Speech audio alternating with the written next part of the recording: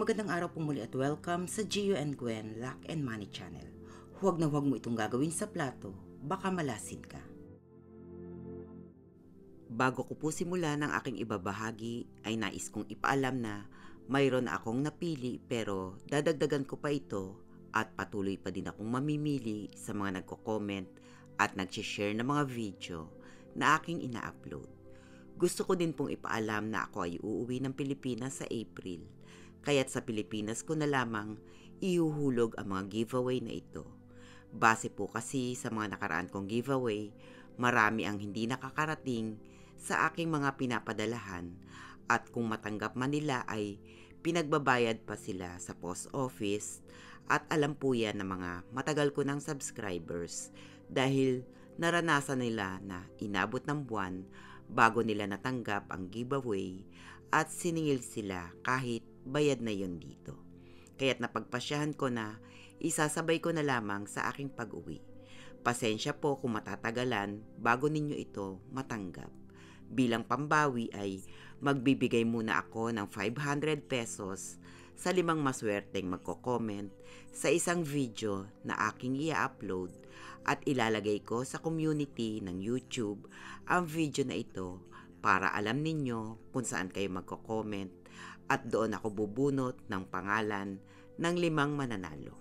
Narito po ang mga pangalan ng mga nauna kong napili at ito ay dadagdagan ko pa hanggang bago makauwi ako sa April.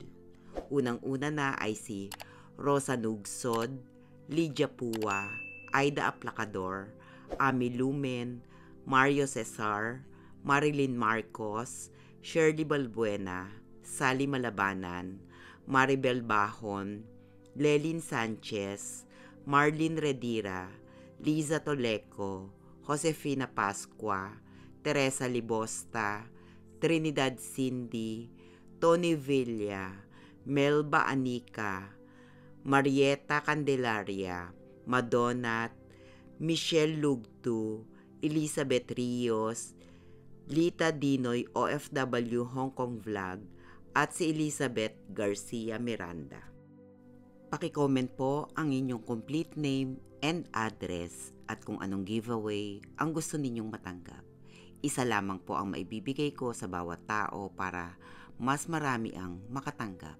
Ang pagpipilian nyo po ay pyrite, citrine at horseshoe. Muli po sa mga hindi ko nabanggit na pangalan, patuloy lamang po kayong mag-comment at mag-share ng video. Baka sa susunod ay pangalan nyo naman ang masasama. Pag magko-comment po kayo ay pakilagay ang pangalan dahil ang iba ay walang pangalan User ID lamang ang nakikita ko kaya't mahirap tandaan.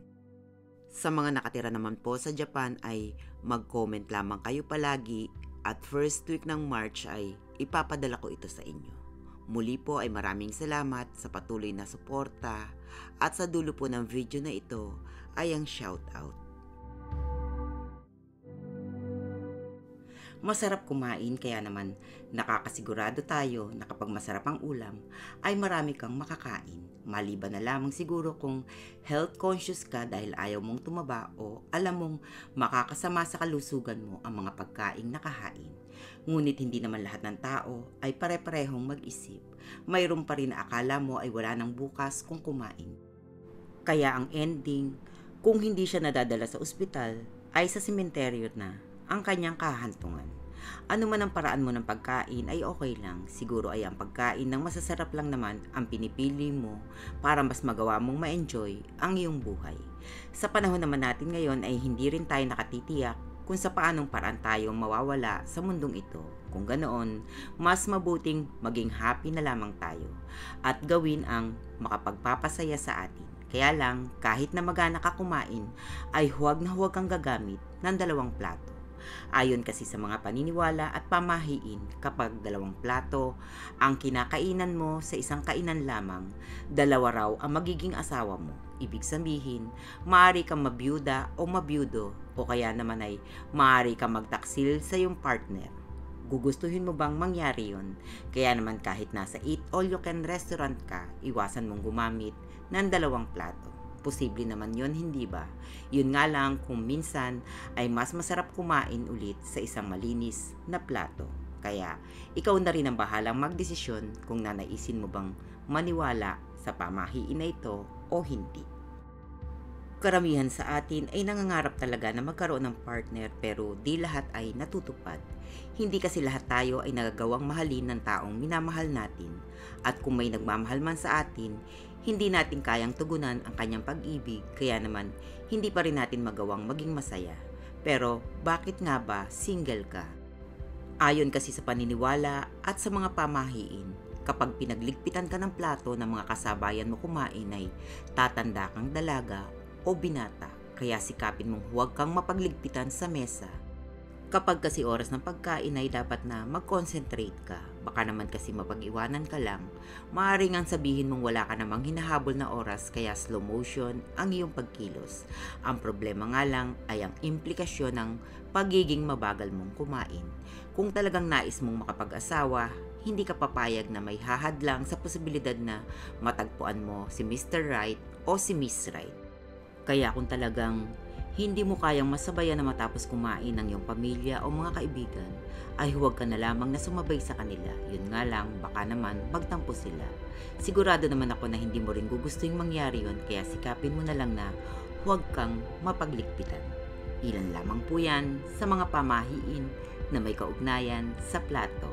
Kayo na po ang bahala kung ito ay inyong paniniwalaan o hindi.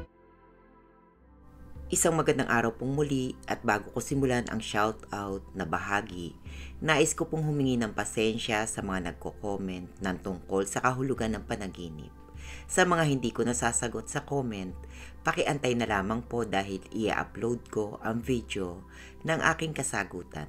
Pasensya po kung hindi ko agad nasasagot. Sa mga hindi ko po masya-shoutout ay pasensya na dahil medyo mahaba na ang shoutout. Sa susunod po ay kayo naman ang isa-shoutout ko basta mag-comment lamang kayo.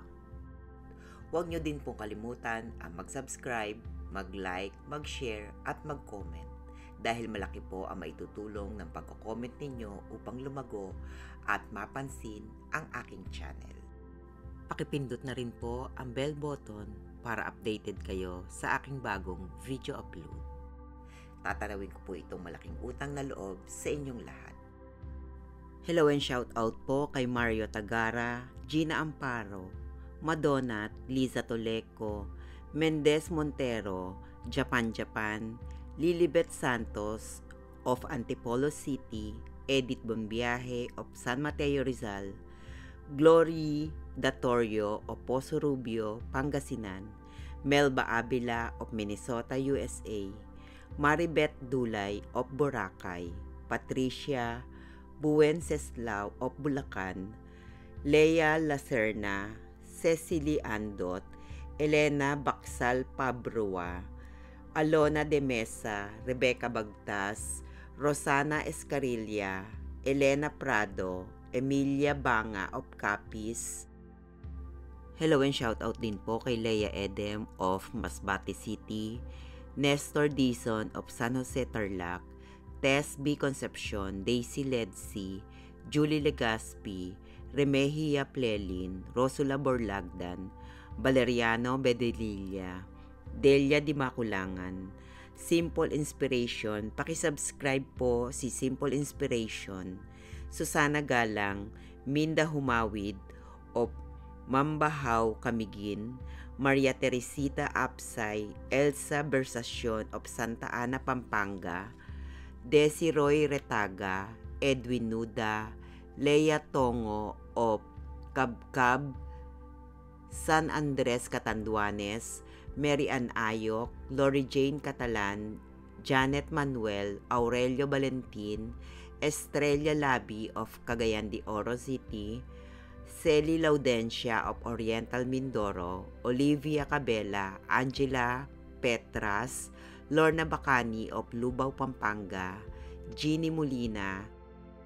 Hello and shout out din po kay Jeannie Molina, Espe Cuerdo, Angelita Rodas Ablao, Teresa Libosta of Cabanatuan City, Lydia Puwa, Albert Kakatyan, Lita Dinoy, OFW, Hong Kong Vlog, Geraldine Madriaga, Mary Zambrano, Krisha Joy Reclos, Hello and shout out din po kay Janet Giturbos of Inting, North Cotabato, Nati Dalisay of Imus Cavite, Girly Malinaw, Ariel Perez, Rowena Lopez, Herminia Sialsita, Aileen De Heron, Adel Reyes, Josie Aquino, Albert Orara, Renelin Halasgo, Yolanda Cabrera, Virginia Magallanes, Juliet Matsusaki, Vanji Del Fiero, Hello and shout out din po kay Arlene Zabala, Adina Galicia, Babes Rivera, Bel Halandoni,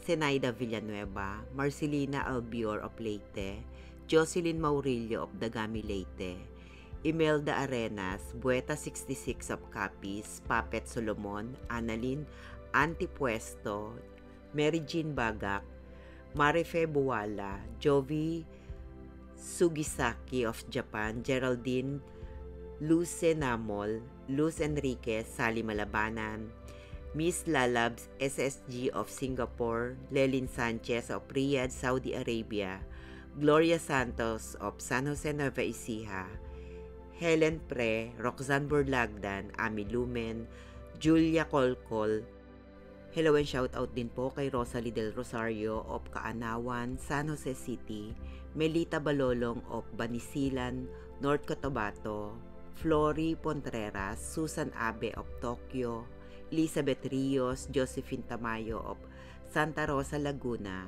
Ray Divino of Simonga, Cebu, Vanji Evangelista of Taiwan, Olivia Cabela, Trinidad Cindy, Emelita De Jesus of Tarlac, Josephine Chalan of Tanza, Cavite.